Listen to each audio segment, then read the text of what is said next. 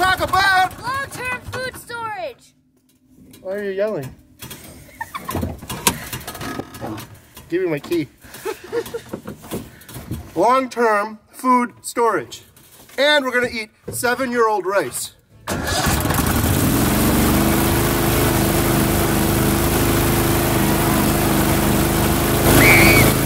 In today's episode of Homestead How, we're gonna eat seven-year-old rice that we stored in these buckets way back in 2012. And we're gonna take a look at Wranglerstar's recent video where he stocked up on four years of long-term food storage. And we're gonna talk about why that is not viable for our homestead. This is gonna be my last meal before I go to the emergency room. Actually, it looks really good. Ready? Mm-hmm. I'm so scared. I don't know what is more scary crawling around in my dark, moldy crawl space looking for seven year old rice to eat, or walking through my 14 year old daughter's bedroom to access said crawl space. Godspeed, I'm going in. Oh my goodness, I feel like I need to blur this out somehow.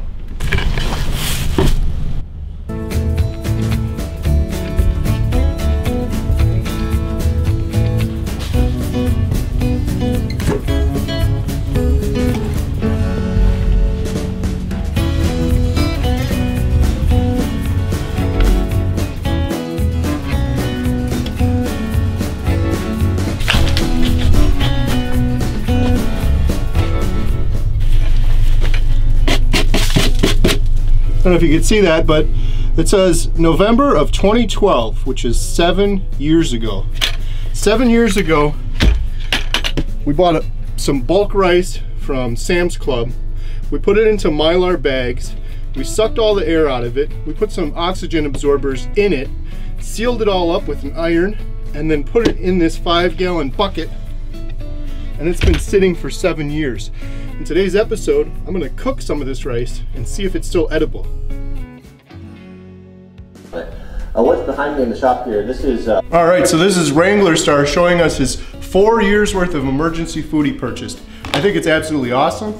I love Wranglerstar. He's one of our favorite YouTubers. He actually inspired us to become homesteaders. Um, before we moved into our homestead here, I watched tons of his videos.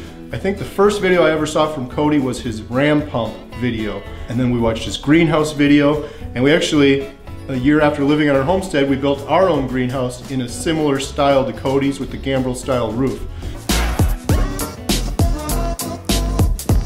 So we love Wranglerstar. I think this is an awesome video. The only reason I'm making this video is because I don't think his way of preparing with four years of emergency food is viable for most homesteaders. I know it's not viable for us. It's gonna be just way too expensive. If you have the money, then I think it's definitely worthwhile. It sounds like it's a great company. I followed the link in Cody's video and I checked it out and um, they've got great reviews. They come in heavy duty containers. All of the food is in single portion serving sizes and resealable containers, which is awesome. And it's supposed to taste really good too. So it looks like a really good product. So if you have the money for it, I think it's a great solution. I just know as us, a lot of homesteaders out there probably can't afford that. I followed the link over and I checked it out and it's actually a $1,000 for six months worth of food for one person. So we have six people in my family, so that would be $6,000 for six months of food for my entire family. And Cody did it for four years. If I did it for four years for all six of us, we'd be looking at $48,000 for four years of emergency food. There's no way we could do that. So the reason we're making this video is because we've done some alternate methods, some cheap methods to uh, storing food long term. We've used two methods. So there's two methods that we use for long term food storage on a budget. One of those methods was this rice. You can see all of these containers of rice. Several years ago, seven years ago, we stocked up most of this rice. And then about four or five years ago, we moved to this homestead. We actually had to put all of these in the U-Haul truck, bring it here, and it's been stored down underneath our house since then. So that's one method, and we're gonna taste this rice today and see if it's still good. I hope it's good. The second way that we've gone about storing food long-term on the cheap without a big budget is Aldi's and purchasing canned food. we've done a lot of research and we found, this was a couple years ago so it may have changed, but we found that if you look at the cost per calorie, the green beans that they sell at Aldi's are your best bet. And we went and bought cartons and cartons and cartons of green beans. We literally filled up two carts as high as we could with uh, green beans. We also got corn and some other vegetables.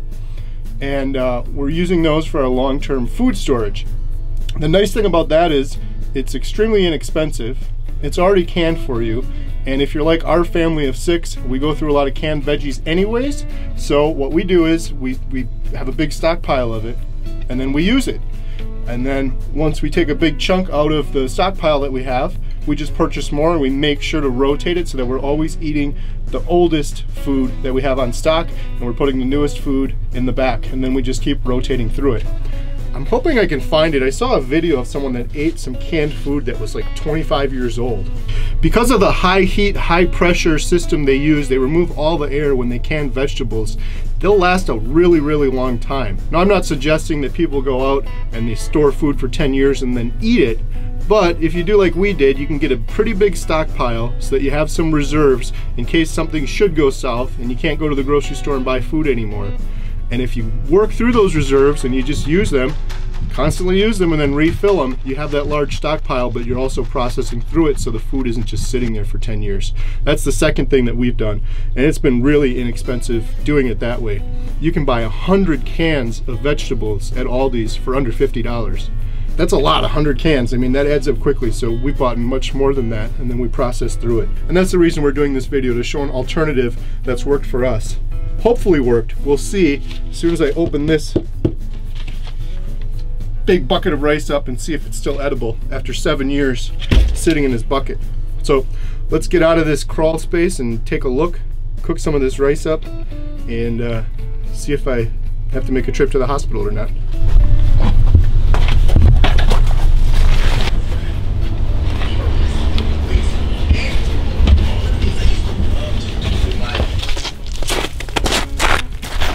All right, so we just got this. We're gonna take it upstairs.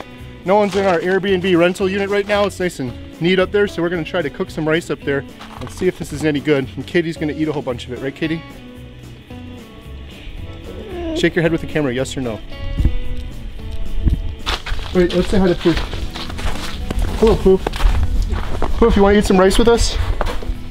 Hey, you wanna eat some rice with us? This, this poof's all messy. Why don't you clean his poof off? Come on, let's go upstairs and eat some rice. Is Poof gonna come with? Sure. Hello, Poof! Hopefully there's no guests up here anymore. Ooh, they made the bed. Ooh, there's a basketball thing. Yeah, you haven't seen it yet? No. I haven't been up here in like a week. Katie thinks it's gonna be disgusting. She's holding the camera right now. We're gonna open it up. Hopefully it's edible. Hopefully we can cook it. And uh, yeah, let's just do it.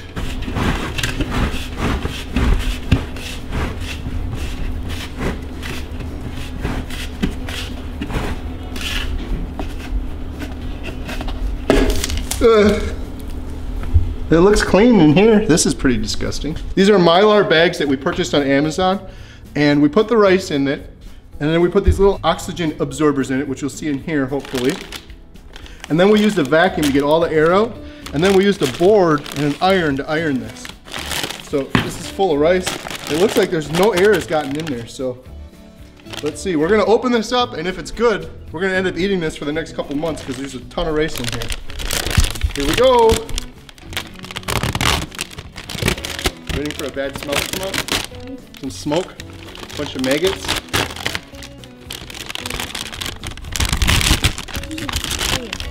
This is the oxygen absorber. We bought these on Amazon too. That sucks any additional air out that's in there. Put that off to the side. Look at it, it looks good.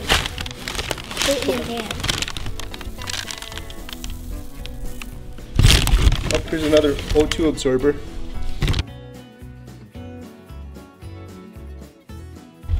All right, we have a rice open. It looks perfectly fine. There's like nothing in it. Like, I don't know what I was expecting to see, but Jen was saying, oh, maybe there'd be maggots or something in there, but it's completely sealed. It looks just like perfectly good rice. So we're gonna try to cook it now. Do you know how to cook rice, Katie? Oh, you boil it and then. I know how to cook instant rice. That's what I was, what I was thinking. We're cooking 16 ounces of rice.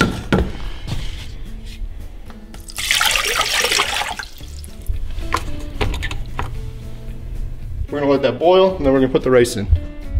So we'll be right back. And Katie's gonna go play basketball. I don't know how to turn it on. Should we take them with?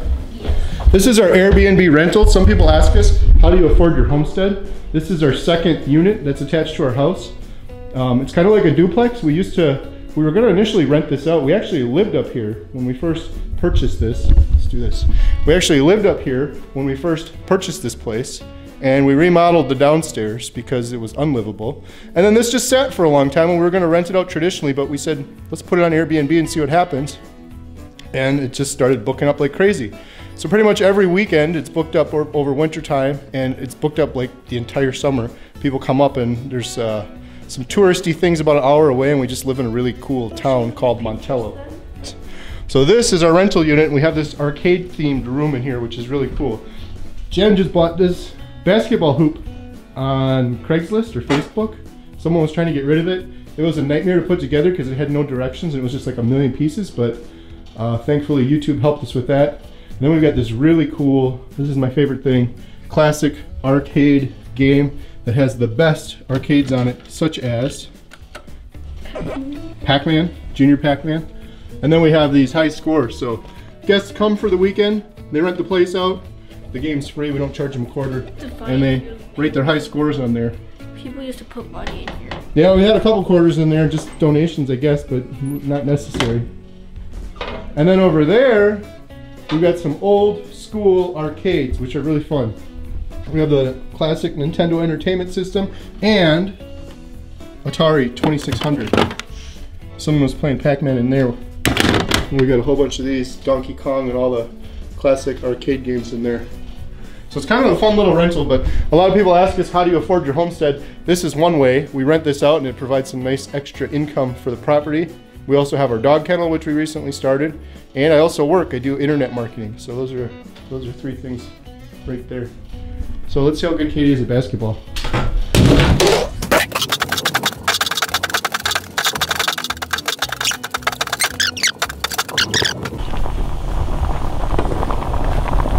Done. We followed the YouTube directions.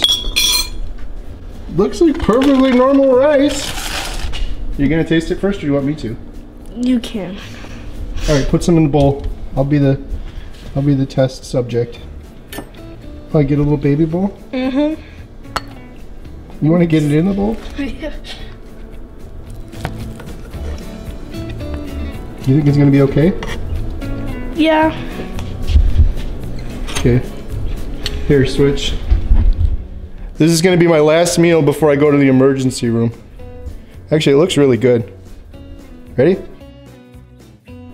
I'm so scared.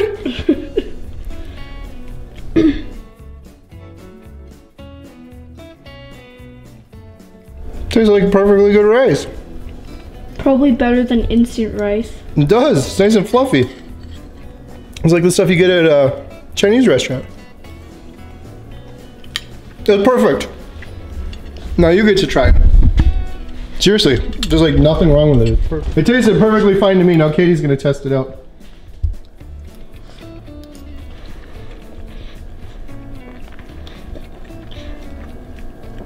It is better than instant rice. That's actually all the rice we've ever eaten has been pretty much instant rice. And we have seven-year-old dirty rice that was down in the basement for seven years. it tastes better than the instant rice. It's really good. Yeah, now that we opened it, we have all of this rice now. We can cook. So I think it's, uh, I think we need to go into stir fry season now and start having rice for dinner every single night. The only problem is, I don't think mom will eat it. Just tell her it's instant rice. Ooh, we should do that. Should we just cook it all up and make dinner tomorrow? You're making dinner tomorrow. Don't tell your sisters. We'll feed them all seven-year-old rice and they will never know. I think the biggest takeaway and suggestion from this entire experiment was make sure that you get all the air out. That was one thing. The first bag we did, we screwed up and then my sister gave me the tip. Using a vacuum, you suck every little bit of air out That and then the oxygen absorbers, which are these things, which you can purchase on Amazon, do a great job to get, I guess, absorb any other additional oxygen that's in there. You don't have any oxygen and stuff will last years and years and years, in this case, seven years. We've got all that rice in the crawl space, still stored up for the future. Should crap ever hit the fan, we need to use it. Who wants to eat seven-year-old rice?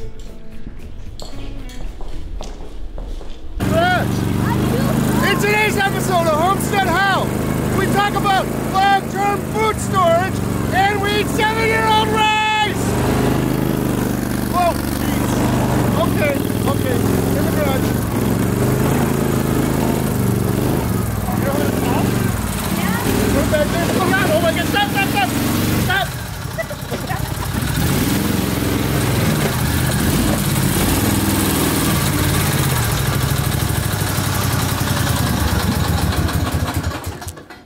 It's gonna pop. Oh, that was a pathetic pop. It was like, like a little fart.